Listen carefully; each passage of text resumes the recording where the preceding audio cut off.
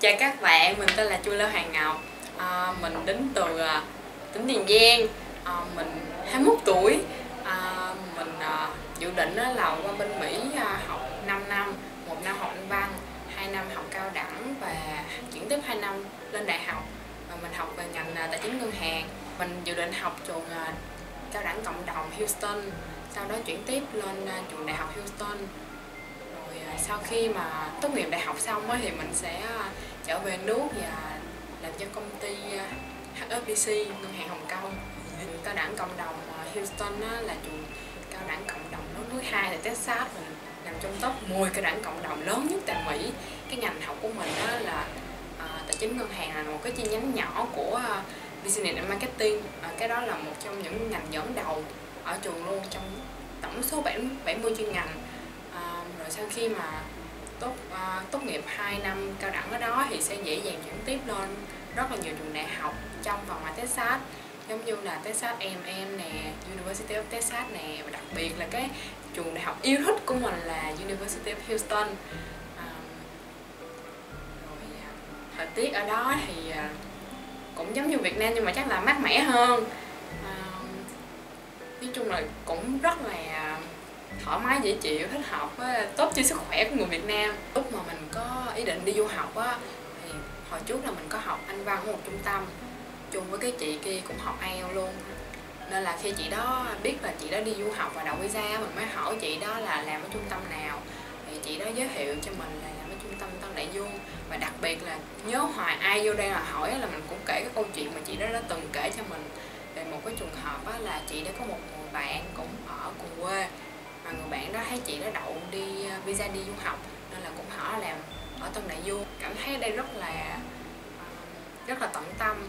Đặc biệt là chị An thì đều rất là tận tâm và nhiệt tình hướng dẫn cho mình rồi ờ, hẹn mình lên test bài nè rồi hướng dẫn cho mình rất là nhiều.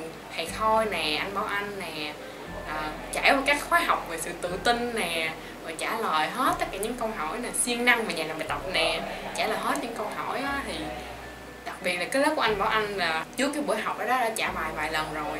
Mà ai cũng đóng góp là phải mạnh miệng lên phải uh, tự tin hơn. Tại vì thấy giọng yếu yếu yếu. Sợ uh, uh, vô chổng gặp sự cố gì. Cái uh, hơn là cũng học anh Bảo Anh này anh Bảo Anh mới nói là cái bí quyết tự tin của mình. Rồi uh, ảnh cuối giờ thì chơi chơi một trò chơi là tự kỷ ám thị. Trước khi thi thì thầy uh, Khôi nè chị An đều chúc may mắn. Rồi tặng quà tặng quà may mắn nữa và sau khi đậu thì được thầy Khôi cũng tặng quà đóng quà luôn. Rất là vui. À, khi mà mình à, có visa đậu visa rồi á, thì mình có lời khuyên cho mấy bạn á, là khi vào đó thì hãy bình tĩnh thì là bình tĩnh và tự tin. À, trước khi đi lấy visa á, thì khi mà học cái lớp học mà trả lời các câu hỏi á, thì xuyên vào nhà làm bài và tìm hiểu về trường của mình sẽ học. Rồi ngành nghề đó thì mình ra làm việc gì việc gì việc gì. Thì các bạn cũng có thể ăn mặc đơn giản nhưng mà mình thấy là các bạn tốt nhất vẫn nên là ăn mặc uh, lịch sự đẹp.